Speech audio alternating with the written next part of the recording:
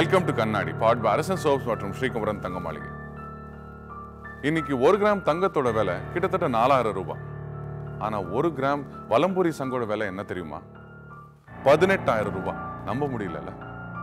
ஆனா வலம்புரி சங்கோட market rate இன்னைக்கு இப்படிதான் இருக்கு. எதுக்கு வலம்புரி சங்குக்கு இவ்வளோ விலை? யார் இந்த விலையை நிர்ணயிக்கிறாங்க? மண்ணுழுங்கி பாம்பு இரிடியம் மாதிரி இது ஒரு சதுரங்க வேட்டையா?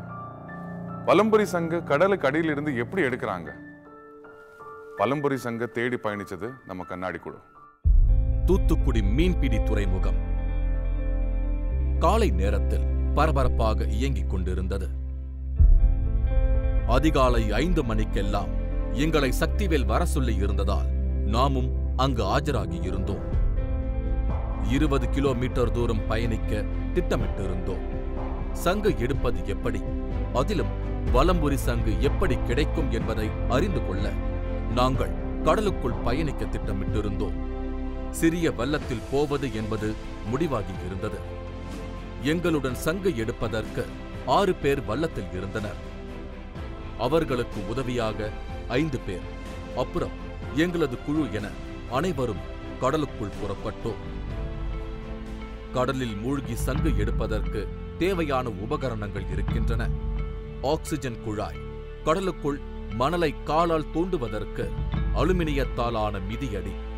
கைகளுக்கு தேவையான அலுமினிய தட்டு உள்ளிட்ட பொருட்களை தயாராக வைத்திருந்தோம்.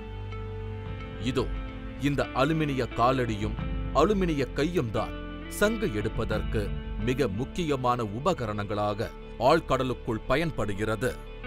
எங்களுடன் பயணித்த சக்திவேல் குழுவினர் இந்த சங்குகளை எடுப்பதில் அனுபவம் பெற்றவர்கள். சக்திவேல் ஏற்கனவே பல வீடியோக்களை தண்ணீருக்குள் படம் பிடிக்கும் கேமராவை கொண்டு எடுத்து வெளி உலகத்திற்கு காட்டியவர்.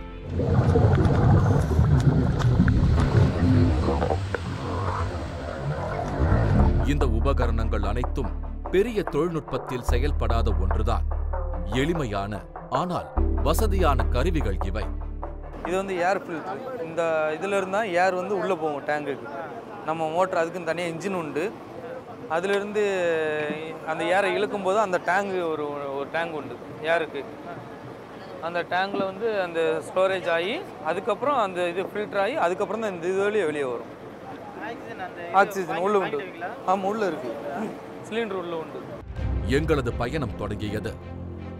வள்ளத்தின் இருபுறத்தில் இருந்தும் கடல் அலைகளின் தாக்கம் காற்றின் வேகம் வள்ளத்தின் வேகம் ஆகியவற்றால் இருபுறமும் தண்ணீர் சாரல் போல அடித்துக் கொண்டே இருந்தது. நாம் சிறிது தூரம் கடலுக்குள் சென்றதும் ஒரு கப்பல் எதிர்பட்டது. இது மாலத்தீவு கப்பல்ண்ணே இதில் என்ன எடுத்துகிட்டு போவாங்கன்னா எல்லா காருக்கும் இருக்கும். சிமெண்ட்டு மண் சல்லி இப்படி தான் எடுத்துகிட்டு போவாங்க இது இந்த கப்பல் இப்போ எம்டி கப்பல். சரக்கு எதுவுமே கிடையாது. நல்ல மிதந்து நிற்கி பார்த்தீங்களா அதனால எம்டி கப்பல் நல்லா கண்டுபிடிக்கலாம். பெரிய கப்பலில் செல்லும் போது வல்லம் மற்றும் சிறிய படகில் செல்பவர்கள் கப்பலின் அருகே சென்று மீன் பிடிப்பதை வழக்கமாக வைத்திருப்பார்களாம். கப்பல் செல்லும் போது அதன் அருகே சிறிய மீன்கள் கூடவே வருமாம். அதனை துரத்திக் கொண்டு பெரிய மீன்களும் வருமாம். அதனை பிடிக்க மீனவர்கள் கப்பல் அருகே செல்வது உண்டு என்கிறார் சக்திவேல். நம்மள்ட்ட மீன் இருந்துச்சுன்னா அவங்களுக்கு எவ்வளோ நாள் கொடுத்துருவோம். எந்த மீன் கேட்காங்களோ அவங்களுக்கு கொடுத்துருவோம். அவங்க ஏதாவது சாப்பிட்றதுக்கு தருவாங்க. அதுக்காகவே கொடுப்போம். நம்மளுக்கு பசியே இருக்குது நம்ம ஒரு பண்டமாற்று முறை மாதிரி. அது நடுவில் நடுக்கிறது ஹெல்ப்லாம் பண்ணுவாங்க. ஹெல்ப் ஆமாம் எல்லாரும் ஹெல்ப் பண்ணுவாங்க. கரையில் தானே எல்லாரும் அடிச்சுக்கிறோம் பிடிச்சிக்கிறோம் எல்லாம் உண்டு. கடல் மேலே அப்படி யாருமே கிடையாது. யாரையும் யாரையும் பகைக்கவே முடியாது. கடலுக்குள் நுழைந்து விட்டால் ஜிபிஎஸ் கருவிதான் எல்லா உதவிக்கும் கை கொடுக்கிறது. கடந்த காலங்களில் மீனவர்கள் தங்கள் அணியில் இருக்கும் மூத்தோரின் கணிப்பை மட்டுமே அனைத்திற்கும் நம்பினார்கள். வலை விரிப்பதற்கு திரும்பி வருவதற்கு மறுநாள் சென்று விரித்த வலையை எடுப்பதற்கு என அனைத்திற்கும் திறமையான மீனவர்களை மட்டுமே நம்பி இருந்தார்கள். இப்போது இந்த வேலை அனைத்தையும் ஜிபிஎஸ் கருவி செய்து விடுகிறது. சங்கு இருக்கும் இடம் மீன்கள் இருக்கும் இடம் வலை விரித்த இடம் என அனைத்திற்கும் ஜிபிஎஸ் கருவியின் உதவியை பயன்படுத்திக் கொள்கிறார்கள். கிடைக்கிறது இல்லையா? முத்தே கிடையாதுண்ணே. கடல்ல வந்து அதிகமாக மாசுபட்டுட்டு முத்து எல்லாமே அழிஞ்சிட்டு. மீனவர்கள் படகு உரிமையாளர்களை சம்மாட்டி என அழைக்கிறார்கள். மீன் பிடிக்க செல்வதையோ அல்லது சங்கு எடுக்க செல்வதையோ இவர்கள்தான் முடிவு செய்கிறார்கள். எங்கு மீன் பிடிப்பது எங்கு நங்கூரம் இட வேண்டும் எப்போது கரை திரும்ப வேண்டும் என அனைத்தையும் சம்மாட்டிதான் முடிவு செய்கிறார்கள். நாம் சென்ற வள்ளத்தின் உரிமையாளர் அந்தோணியிடம் பலர் பணிபுரிகிறார்கள். எத்தனை சங்குகள் கிடைத்தாலும் அனைவருக்கும் பங்கு உண்டு. இதில் கூடுதல் பங்கு சம்மாட்டிக்கே கிடைக்கும். ஒரு பதினஞ்சு மைலுக்கு மேலே தான் வந்திருப்போம். ஆமாம் ரொம்ப தூரம் இது ஆழம் வந்து எப்படினாலும் ஒரு பதினஞ்சு பாவத்துக்கு மேலே இருக்கும் சொல்ல போனால் ஆமாம் நம்ம இப்போ அளவு எடுத்தோம்னா பதினஞ்சு பாவம்னா இறங்குறது ரொம்ப கஷ்டம். பதினஞ்சு பதினாறு பாவத்துக்கிட்ட வந்துடும் கடல் மற்ற எல்லாவற்றை காட்டிலும் பிரம்மாண்டமானது. கடலுக்குள் நிலத்தில் உள்ள அனைத்து நிகழ்வுகளும் நடக்கின்றன. விதவிதமான உயிரினங்கள் காடுகள் மலைகள் செடிகள் மரங்கள் என நிலத்தில் உள்ள அனைத்தும் இருக்கின்றன. இப்போ நம்ம நார்மலாக இந்த சங்கு எடுக்க போகிறோம் இந்த சங்குல வர லாபத்தோட வலம்புரி சங்குக்கு என்ன மாதிரி ஒரு லாபம் கிடைக்கும்? லாபம்னா இந்த சங்கு வந்து அதிகபட்ச விலையே பெரிய சங்கா இருந்துச்சுன்னா ஒரு ஆயிரம் ரூபா முடிய விற்கும் அதே இது வளமுறை சங்கம்னா ஒரு பத்து லட்ச ரூபாய் முடிய விற்கும்னு சொல்லியிருக்காங்க. கடலில் தொண்ணூறு சதவிகிதத்திற்கும் மேலானவை இன்னும் கண்டறியப்படாதவை. அதனால்தான் பல்லாயிரம் ஆண்டுகளாக கடல் இன்னும் மனிதனை ஆச்சரியப்படுத்திக் கொண்டே இருக்கிறது. தண்ணிக்குள்ள எல்லா கடல்லையுமே நீரோட்டம் உண்டுண்ணே. வழியாக இழுத்துட்டு போகாதுண்ணே. அதுக்காக தான் நாங்கள் என்ன பண்ணுறோம்னா இந்த வெயிட்டை வந்து நாங்கள் இடுப்பில் போட்டுக்கிறோம். இடுப்பில் ஆமாம் இப்படி கட்டி வச்சுக்கிறோம். இப்படி கட்டி வச்சுக்கிட்டோம்னா இது வந்து எங்களை வந்து எங்கேயும் தூக்காது. கடல் மேலே வந்து தூக்காது. தூக்காமல் அதே இடத்துல கடந்துக்கிறோம். நீரோட்டத்துக்காக நாங்கள் நீரோட்டம் ஓடும்போது குடிக்கிறதுக்காக இந்த கம்பி இருக்குல்ல இந்த கம்பியை வந்து மண்ணுக்குள்ள வச்சு நல்லா குத்தி பிடிச்சிக்கிறோங்க குத்தி பிடிச்சிக்கிட்டா நம்ம நீரோட்டத்துக்கு மேலே மிதந்துட்டு இருப்போம். வெயிட்டு நம்ம அமுக்கிட்டு இருக்கோம். இதை வச்சு பிடிச்சிட்டு நம்ம காலை வச்சு மிதிப்போம்னா நடு காட்டுக்குள் இருந்தால் எத்தனை ஆபத்துகள் இருக்குமோ அத்தனையும் கடலுக்குள்ளும் எதிர்கொள்கிறார்கள் மீனவர்கள். ஆனால் இந்த ஆபத்துகளைக் கண்டு மீனவர்கள் ஒருபோதும் அஞ்சுவதில்லை என்பதுதான் இங்கே கவனிக்க வேண்டியது. இப்போ நம்ம எடுக்க போகிற சங்கம் வந்து இது செத்து இந்த சங்கில் வளராது. செத்து மண்ணுக்குள்ளே பிதஞ்சிரும். ஒரு பத்து வருஷம் அஞ்சு வருஷத்துக்கு மேலே உள்ள சங்கெல்லாம் மண்ணுக்குள்ளே பிதஞ்சிருக்கும். அதை வந்து தோண்டி காலை வச்சு தோண்டி அந்த அப்பன்னு சங்கு எடுக்கும். அப்படி எடுக்கிறனால இந்த இந்த இது வந்து அழியாது. நம்ம எந்த இடத்துல தோண்டினாலும் அந்த சங்கு அதிகமாக இருக்கும். சங்கு வந்து ஒரு கூட்டமாக வாழக்கூடியது. தனித்தனியாக வாழக்கூடிய சங்கையே கிடையாது. ஏன்னா வந்து கூட்டமாக வாழக்கூடியது அந்த ஒரு இனம் அழியுதுன்னா அப்படியே இனம் அழிஞ்சு அந்த நீரோட்டத்துக்கு எங்கிட்டு போதோ அங்கிட்டு ஆடிட்டு கிடக்கும் நீரோட்டம். எங்கிட்டு போதோ அந்த குறிப்பிட்ட இடத்துக்கு நீரோட்டம் இல்லாத இடப்போ அந்த மண்ணுக்குள்ளே அப்படியே பிதஞ்சு உட்காந்து பிதஞ்சு பிதஞ்சு இருக்க இருக்க. அப்படியே உள்ள ஃபுல்லாக சங்கா இருக்கும் சங்குகளை எடுக்க முன்னதாகவே வந்து கடலுக்குள் இடம் பார்த்து விட்டு செல்கிறார்கள். ஜிபிஎஸ் கருவியில் இடத்தை குறித்து வைத்துக் கொண்டு பின்னர் மீண்டும் ஆட்களோடு வந்து அதனை எடுப்பார்களாம் மூணு மணி நேரம் தான் அதிகபட்சமே கிடப்போம் ரொம்ப நேரம் உள்ளே கிடக்கக்கூடாது. நாங்கள் எங்கள் சங்கத்தில் எல்லாரும் சொல்லி மூணு மணி நேரத்துக்கு உள்ளே தான் இருக்கணும். மூணு மணி நேரத்துக்கு மேலே இருக்கக்கூடாது. என்கிட்ட எல்லார் கையிலையுமே வாட்ச் கட்டியிருப்போம். வாட்சில் வந்து டைம் செட் பண்ணி இருப்போம் ரெண்டு மூணு நேரம் வாட்ச் கட்டியிருப்பாங்க. அவங்க தண்ணிக்குள்ள வச்சே சொல்லிடுவாங்க குறிப்பிட்ட இடத்திற்கு வந்து சேர்ந்தோம். கடலில் இறங்க தயாரானோம்.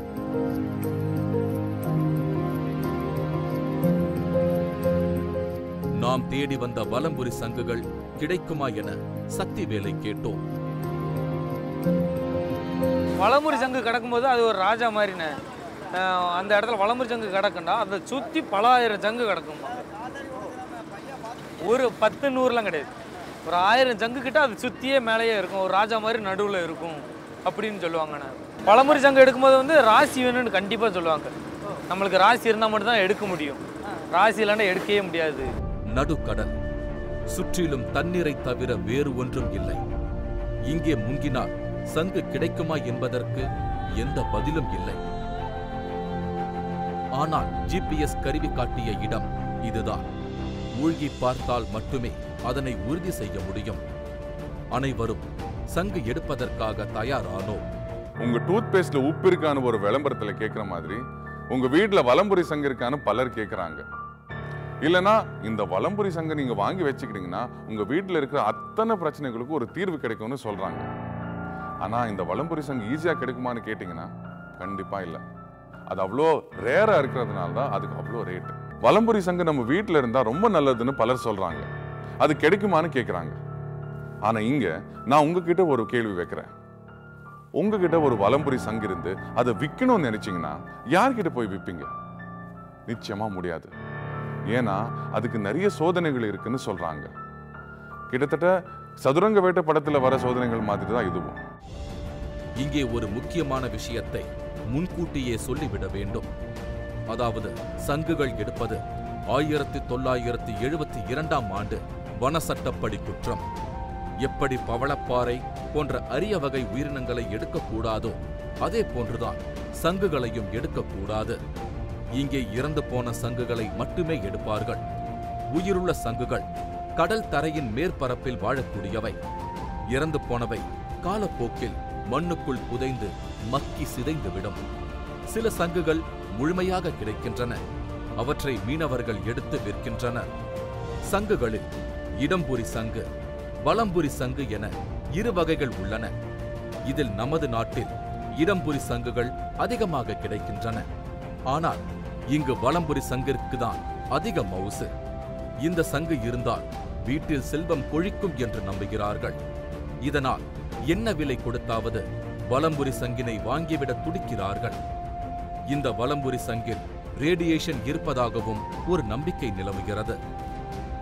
இதனால் வலம்புரி சங்கின் விலை நினைத்து பார்க்க முடியாத அளவில் நிர்ணயிக்கப்படுகிறது.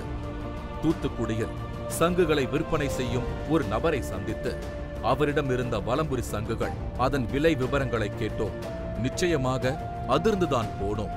அதாவது ஒரு கிராம் வலம்புரி சங்கின் விலை தங்கத்தின் ஒரு கிராமை விட மிக அதிகமாக விற்கப்படுகிறது.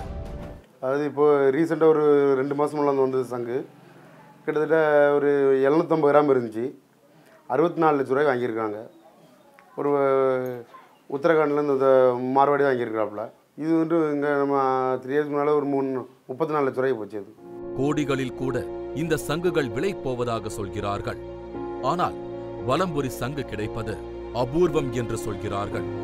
நமது நாட்டில் இடம்புரி சங்கு அதிகமாக கிடைக்கிறது. அதே நேரம் ஆப்பிரிக்க கடல் பகுதியில் வலம்புரி சங்கு அதிகமாக கிடைக்கிறது. இந்த ஆப்பிரிக்க சங்கினை பலரும் விரும்புவதில்லை. இதனால் ஆப்பிரிக்க வலம்புரி சங்கு இந்தியாவில் கிடைக்கக்கூடிய இடம்புரி சங்கினை போல குறைந்த விலையில் கிடைக்கிறது. ஆமாம் அன்றைக்கி ஒரு நாளைக்கு ஒரு ரெண்டாயிரம் கிடைக்கிற இடத்துல ஐம்பதாயிரம் கிடைக்கும் போது அதிர்ஷ்டம் மாதிரி தான் இது தேடி நிறைய பேர் கூட்டமாக போயிருக்காங்களா? இந்த மாதிரி இல்லை அப்படிலாம் கிடையாது. ஆயிரத்தில் ஒரு சங்கு வரும். ஆயிரத்தில் ஒன்று வரும் லட்சத்தில் ஒன்று வரும்.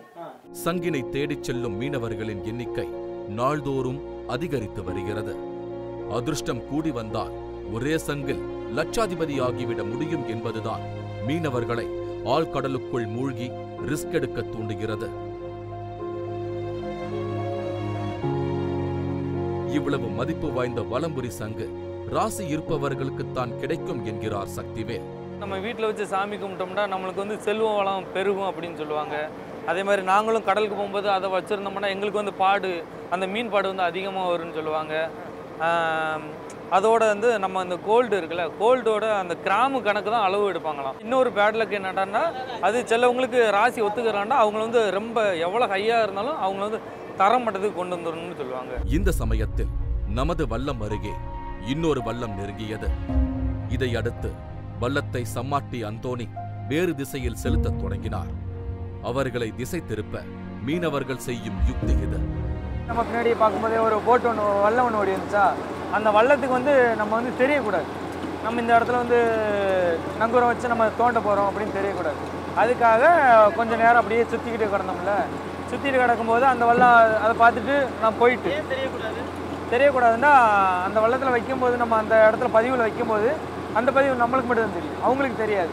நம்ம வைக்கும்போது அவங்களும் வந்து கரெக்டாக வந்து தோண்டிட்டாங்கன்னா நாளைக்கு அதே இடத்துக்கு மறுபடியும் இன்னொரு அவங்களுக்கு தெரிஞ்ச வள்ளத்தை எல்லாத்தையும் கூட்டு வந்துடும் ஜிபிஎஸ் காட்டிய இடத்தில் மீண்டும் நங்கூரமிட்டோம். மதியத்திற்கு பிறகுதான் சங்கினை தேடி கடலுக்குள் இறங்க முடிந்தது. ஆக்சிஜன் மாஸ்க் அணிந்து கொண்டு குதித்தார்கள் அனைவரும். இந்த இடத்தில் சுமார் பதினைந்து ஆட்களை நிறுத்தினால் எவ்வளவு ஆழம் இருக்குமோ அவ்வளவு ஆழம் இருக்கும் என்றார் சக்திவேல். சங்கு எடுப்பவர்களுக்கு வல்லத்திலிருந்து சிறிய பிளாஸ்டிக் குழாய் மூலமாக ஆக்சிஜன் செலுத்தப்படுகிறது. அதனை தங்கள் முகத்தில் மாட்டிக்கொண்டு எப்போது தேவைப்படுகிறதோ அப்போது குழாய் வழியாக சுவாசிப்பார்களாம். ஆனால் இது ஒரு ஆபத்தான முறை என்பது குறிப்பிடத்தக்கது. கிட்டத்தட்ட மூன்று மணி நேரம் சங்குகளை தேடினார்கள். கிடைத்த அத்துணை சங்குகளையும் சேகரித்துக் கொண்டு ஒவ்வொருவராக மேலே வந்தார்கள்.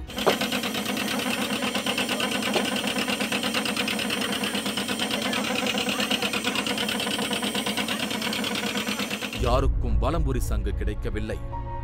மேலே வந்தவுடன் அனைவரும் சங்குகளை கழுவிக் கொள்கிறார்கள்.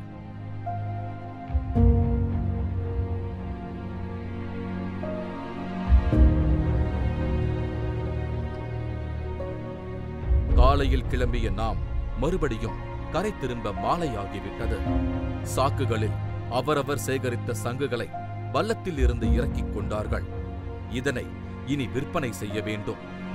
தூத்துக்குடியில் சங்குகளை வாங்குவதற்கு வியாபாரிகள் இருக்கிறார்கள். நாம் ஒரு வியாபாரியிடம் சென்றோம். அவர் சில்லறைக்கு சங்குகளை வாங்கிக் கொள்பவர். மொத்த வியாபாரியை பார்க்கவே முடியாது என்கிறார்கள். சிறிய அறைதான். அனைவரும் தரையில் அமர்ந்து கொண்டார்கள். நாம் சென்ற வல்லத்தின் சம்மாட்டி அந்தோனி முதலில் தனது சங்குகளை எடுத்து அந்த நபரின் முன்னால் வைத்தார். தனது சங்கிற்காக பேரத்தை தொடங்கினார் அவர். அப்போது எதேச்சியாக அந்த வியாபாரி ஒரு வலம்புரி சங்கு குறித்த தகவல்களை அங்கு பகிர்ந்து கொண்டார். அதிர்ச்சியில் உறைந்து போனார் அந்தோனி இது இப்போ எவ்வளோக்கு வந்து இப்போ வந்ததா? எவ்வளவு? எவ்வளவு? அறுபத்தி ஏழு. அறுபத்தி ஏழு. அறுபத்தி ஏழா யார் உள்ளத்துல அறுபத்தேழு லட்சம் அறுபத்தி ஏழு லட்சம். ஏப்பா. இந்த சமைக்க சமைக்க தான் இருக்கானே பாக்குற மாதிரி. பா இங்கங்க. உத்தரகாண்ட் வீட்டு. அந்தோனிக்கு மனசே சரியில்லை. இதுவரை அவர் ஒரு வலம்புரி சங்கினை பத்து லட்சம் அல்லது பதினைந்து லட்சத்திற்கு விற்பார்கள் என்றுதான் கேள்விப்பட்டிருக்கிறார். ஆனால் வியாபாரி சொன்ன கணக்குப்படி வலம்புரி சங்கு அறுபத்தி ஏழு லட்சத்துக்கு போகும் என்பதால் மனசுடைந்து போனது அவருக்கு. ஒன்பதுல ஒன்று சங்குக்கு என்ன குறைச்சல்? அதில் எதில் இருக்கு சுத்தா? எடுக்காதா அவனுக்கு வேற வேலை கிடையாது. அஞ்சுக்கு அப்பனி. எட்டில் போடு. இல்லை ஏழில் போடு. ஏழ்நூறு ஏழில் போடு. எழுநூறுவாயில ஒன்று எவ்வளோ வச்சிருக்க? இல்லை. தங்க சுற்றி சுற்றி தான். உங்களுக்கு தூக்கி தள்ளிடாத நாலில் ரெண்டு. மீண்டும் டென்ஷன் ஆகிவிட்டார் அந்தோனி அறுபது லட்சத்துக்கு விற்றிருக்கிறாயே தொள்ளாயிரம் ரூபாய் தரமாட்டியா என கொந்தளித்தார் அவர். போக போக தனது சங்குகளுக்கு அந்தோனியே விலை சொல்லி வியாபாரியை திணறடித்து விட்டார். இது ஏன் இரநூறுவாய்க்கு வச்சிருக்க? இதுல என்ன குறை இருக்கு நீ சொல்லு கர புள்ளி குத்துலாம் ஒரு சிவத்தையா இதில் போட முடியாது. போட்டுறாத. மூணுல ரெண்டு. நாலுல ஒண்ணு. நாலு தானே போட்டிருக்கு. போடும் சங்கு. எவ்வளவு பெரிய சங்கு? பா சங்கு ஜெயிச்ச பத்தியா? அந்த சங்குக்கு என்ன குறைச்சல்? சரி மூணுல சேர்த்து விடு. இன்று காலையில் ஒன்பது பேருடன் புறப்பட்ட சங்கு எடுக்கும் குழுவினர் கிட்டத்தட்ட பத்தாயிரம் ரூபாய்க்கு சங்குகளை சேகரித்து வந்தனர். அவர்களுக்கு வலம்புரி சங்கு கிடைத்திருந்தால் அதிர்ஷ்டம்தான் என்பதில் சந்தேகமே இல்லை. ஆனால் கிடைப்பது அரிதிலும் அரிது. வலம்புரி சங்கு அரிதான விஷயம் என்பதால் தான் இத்தனை டிமாண்ட் அதற்கு. இதனால் வலம்புரி சங்கு இல்லாமலேயே தங்களிடம் வலம்புரி சங்கு இருப்பதாக பலர் கதை கட்டுவார்கள். வலம்புரி சங்கு தருவதாக ஏமாற்றுகிறார்கள். கோடிகளில் பேரம் பேசுவார்கள். வலம்புரி சங்கு என்னவெல்லாம் செய்கிறது என்று கதை கட்டுவார்கள். சமீபத்தில் இன்டர்நெட்ல நான் ஒரு வீடியோ பார்த்தேன்.